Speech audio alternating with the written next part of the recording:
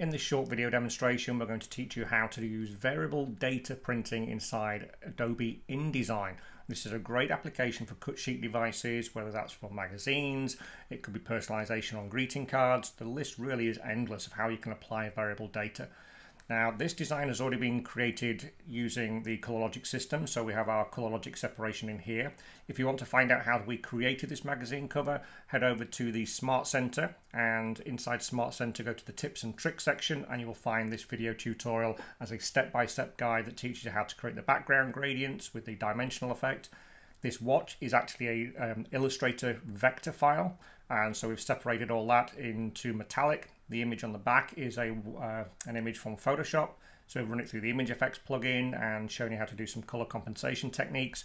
And obviously we've got gold embellishments in there as well. So this uh, magazine is Watch How We Do It. And this is all about variable data printing in InDesign. And the great thing is you don't need any third-party applications for this. You can do all of this just using the tools that Adobe provides you. Okay, so what we're going to do is we're going to go over to our Excel sheet. So you can do this in Excel or we're using Google Sheets. Create um, a column, one for the name, one for the surname. Really, really simple. So each variable would have a column. Then all you need to do is share that file down to your computer. So I'm just going to download that as a comma separated value. That will go to your computer. And then all we need to do is go into InDesign going to go to the window menu, I'm going to go to utilities, I'm going to go to data merge.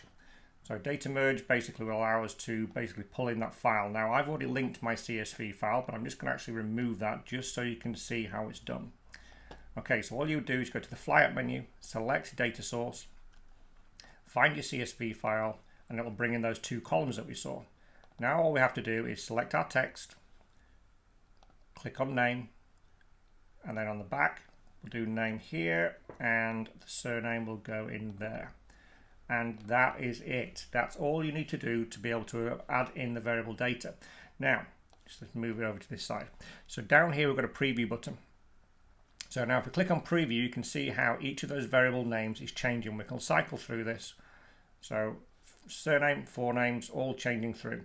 Now the great thing about this is that because this is ColorLogic, how would you do this without using the ColorLogic system? So what we're going to do now is take it to the next level because we're going to not just have whiteout text. So that's easy. Anybody can do whiteout text. What we're going to do is metallic text. So I'm going to go to my swatches and I'm going to create a new color swatch and I'll go to the ColorLogic library and I'm going to add a gold and I'm going to click on yes to say yes, I'm happy importing that color. So now we've got a new ColorLogic color in here. So let's now color that up gold. Now at the moment it looks a little bit flat against that metallic background. So what I'm going to do is I'm actually going to put a stroke around the outside. So now you can see we've got that whiteout stroke. And the same thing on the back, but this time the back color, I'm going to change it to something else.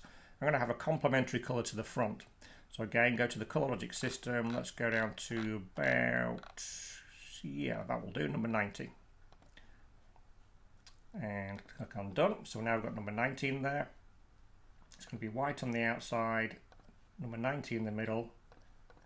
So now I've got that frame. So now what's going to happen is we're going to have metallic gold text that's variable with a white stroke around it against a metallic background with a dimensional effect knocked out pattern. And just to show you what happens here is all that will change as you can see. Now let's have a look at our separation preview. So separation preview was going to show us what that ColorLogic silver separation or the white separation is. Now remember the white here is going to be the white ink. So watch what happens here. That black, that solid area is going to be the solid silver substrate coming through. So as we're changing that, that variable field changes automatically. So every single one of those, if you were to do this without the ColorLogic system, you would have to create every single one of these with an individual white ink mask. Now, how would you go about putting the white ink mask into this image? And what happens is most of the time with white ink, they put a solid behind the back because it's just too complex. You can't see white ink on your computer screen. You have to tint it like a blue or a red. You end up working backwards, blocking out the colors that you don't want to be metallic, rather than what we do is we make the colors that you do want metallic into a metallic. It's really simple. Okay, let's just finish off by adding in a silver embellishment down the spine and I think we're good to go. So we've seen our file, it's all done there, all created up nicely for us. Let's now export that out to a PDF. We're going to do all records in this instance and just click on OK. I'm going to do PDF X4, just a normal PDF file, save that to my desktop, and it's going to go through and generate the file. Now the great thing about this is that it's actually really very quick. As you can see here, it is basically done. It says there's no over text, so basically saying that there's no text that's burst out of the frames, which is a good thing, which means that all our documents work correctly. So now let's go down to our desktop. We have that PDF file we just created. We can open that up and inside Adobe Acrobat we will then have 50 PDF files which are ready to um, display, um, uh, send over to the RIP.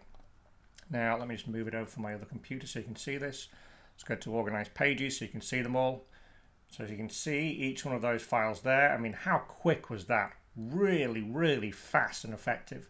Now great thing about this as well, what's the file size?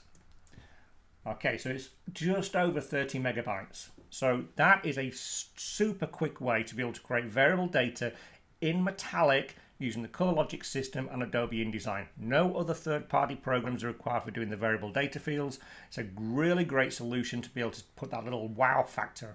And don't forget, if you want to see how this was created, head over to the ColorLogic's Smart Center for our licensed printers, sign in, look at the video tutorials on how we created all these amazing files.